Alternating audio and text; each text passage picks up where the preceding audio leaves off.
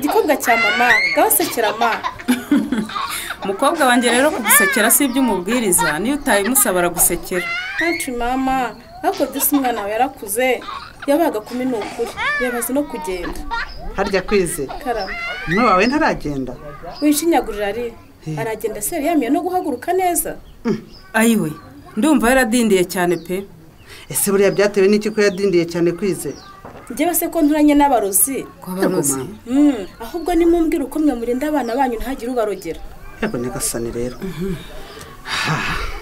Nta kindi nkuru uretse kumuha ifunguro rigizwe n'indyo yuzuye kandi iteguranywe isuku nk'uko babitwigishije mu gikoni cy'umudugudu. Naho iby'amarozi byo rwose turaziranye wikwitwaza rubanda kwize. Ese ubundi umwana wawe umugaburira iki? Ikirayi kinombye cyangwa igitoki?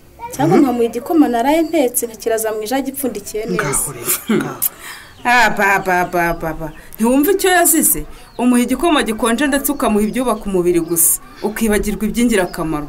Niko kwize? Karame. Ntiwibuka ko batubwiye ko indyo yuzuye igizwe n'ibyubaka umubiri ibitera imbaraga n'ibirinda indwara.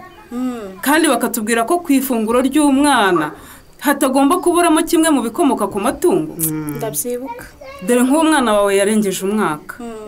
Wakagombye kubaho nibura umuha igikoma kirimo amata kandi gishyushye atari ukumuha ibyo ngibyo bikonje. Mhm. amata se nayakura ariko ntayo nabona? Hmm, nawe unyumvire ngo amata yayabona he rwose ntimufite nk'ikamwa turayifite. None. Ubwo yose muragenda mukayajyana ku isoko mukibagirwa yuko mufite umwana mwabyaye ndetse namwe abagize umuryango muyakeneye.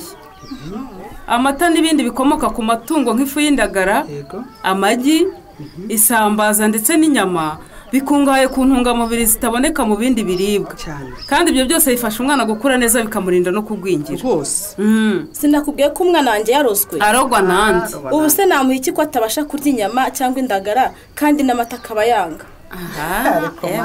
Ari. Ese burya ka gahungu kawe ntikanywa amata? Wapi byanga ko biterwa n'uburyo wabiteguye n'uburyo ubimuha. Yego mama. Nyumvira nawe. Ngo umwana ntanywa amata ngo ntarya inyama ngo ntarya indagara yewe ngo ntanarya n'isambaza.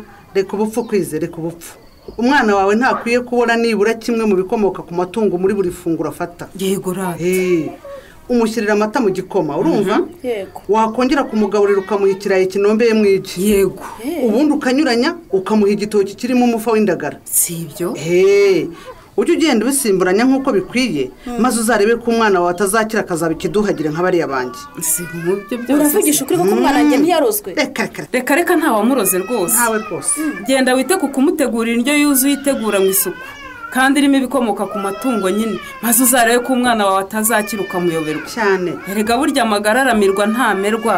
Hey, yewe ngiye kubigenza uko umbwiye. Aho nzajya nshishwa nzajya nkabaza aha! Reka nkubwire.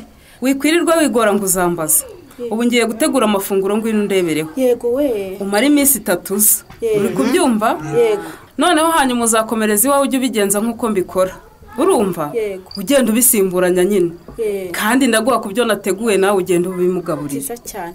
Yewe mbonye ko najyaga mbikora nabi. Wumva se? Burya ubwenge burarahurwa. Nanjye ngiye kujya mbikora ntya?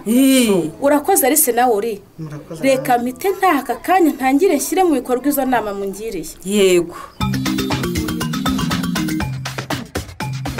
Mubyeyi gura ibikomoka ku matungo nk'amagi amata inyama n'indagara bisimburanye mu ifunguro rya buri munsi ry'abana n'abagize umuryango wawe. Kuko bikungahaye ku ntungamubiri zitaboneka mu bindi biribwa uzaba urinze abana bawe indwara ziterwa n'imirire mibi no kugwingira bityo wowe n'abagize umuryango wawe mugire ubuzima bwiza mukore mugere ku iterambere mwifuza. Ubu butumwa mubugejejweho n'umuryango urunana development communication ku bufatanye na landorex binyuze mu mushinga orora wihaze uterwa inkunga na usaid